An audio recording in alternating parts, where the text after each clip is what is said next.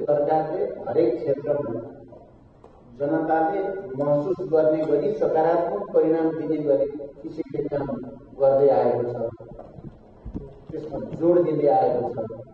र यस सन्दर्भमा स्वास्थ्य मन्त्रालयबाट थुप्रै क्रिएटिभ र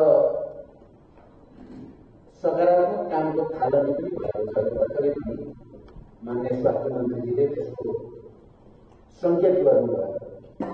म आफू प्रधानमन्त्रीको हैसियतमा सबैतिर सकारात्मक परिवर्तनको अनुभूति जनताले गर्न पाओस् र त्यसमा पनि स्वास्थ्य क्षेत्रमा त्यो वातावरण बनोस् भनेर प्रयास गरेको र यसमा स्वास्थ्य मन्त्रालय र अझ कतिपल्ट मान्य स्वास्थ्य मन्त्रीले आफ्नो क्रिएटिभिटीलाई पनि प्रयोग गर्दै त्यो क्षेत्रमा धेरै नयाँ चाहिँ प्रयासहरू भएका छन्।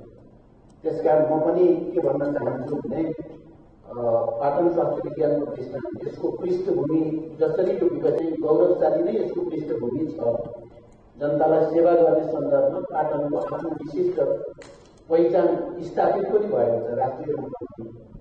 र अहिले प्रतिष्ठानको रूपमा यो विकसित भएपछि अझ वैज्ञानिक अझ प्रभावकारी सेवाद्वारा र अनुसन्धानको क्षेत्रमा पनि केही नयाँ चाहिँ पहलहरू गरेर ওলারি জানা জরুরি শব্দ